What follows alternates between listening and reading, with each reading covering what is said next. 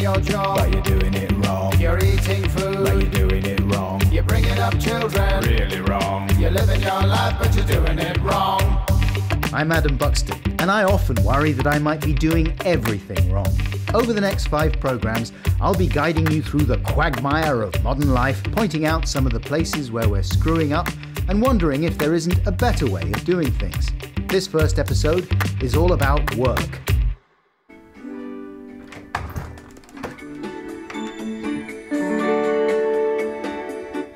Oh, hello!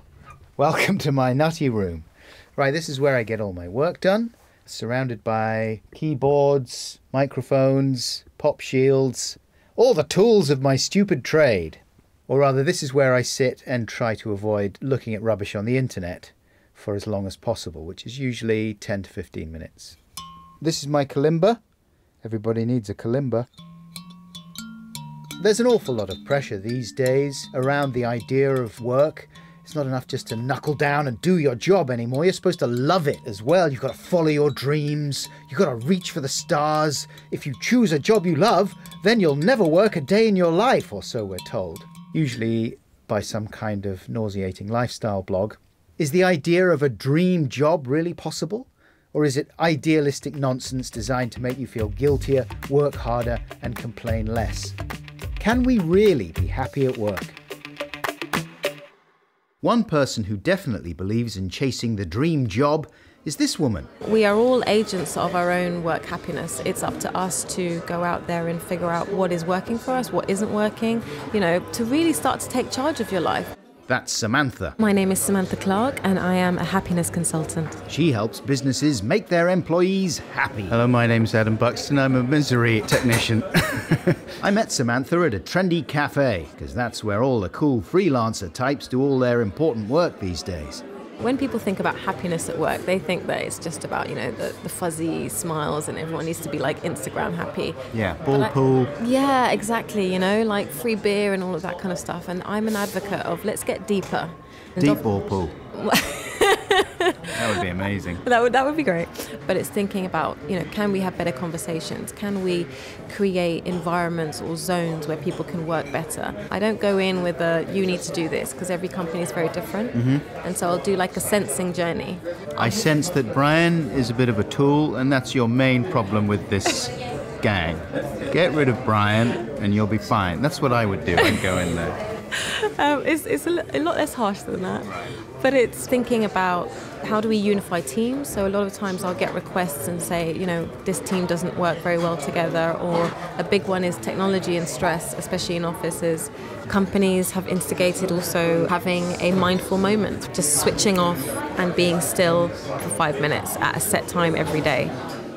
For most people, the ideal would be to enjoy going to work, doing your work wherever you do it. But what's in it for the employers? I think there's a real benefit for the employer to really sit down and cultivate their version of happiness in the company. It's like, what do you want to measure? Is it an issue with productivity? Do you want to look at how they can complete more work in a less amount of time or increase um, cross pollination of ideas in the company? You know, fundamentally, a lot of the companies that I work with, they want to look at the bottom line. Happiness in the long run really does filter down to a lot of these key issues in terms of productivity. So that's what it boils down to a happier workforce is more productive. As usual in this capitalist nightmare, it all boils down to profit. But Samantha also works with individuals on how to make themselves happier in their work, which has to be a good thing, right? She says it's all about taking back control. I think it's really important that we understand how we work at our best. And sometimes we can be so creative, and other times we need to be in strategy, and other times we need deep zone work. Are you talking about mining? Thinking of a guy going down into a mine now, saying to his boss, Actually, actually, yeah. I don't really work that well between 10 and 3, so I'm going to pop back up. I'll be down much later when everyone else is gone. But you know, it can work within the office environment where people can come in at staggered hours. Generally, we are at our happiest when we are self directed, and you've got the freedom if you are working for yourself to say, actually, I'm going to go to yoga in the morning, and then I'm going to come back and I'm going to do my emails, do what I need to do, and then maybe I want to go and pick up my kids. Maybe and I don't. maybe you don't. maybe you want to leave them at the nursery. Who knows? See, I think it takes a lot of discipline Now, working from home is a dream that I can get behind. 4.2 million of us spend at least half of their working time carrying out work at or from home. That's actually 14% of those employed in the UK. My name is Alan Felstead. I'm a professor at Cardiff University, and my field is study of work. We also found that uh, workers who work remotely uh, are happier with their work, they're more enthusiastic about their jobs, and they're more committed to the organisation for whom they work.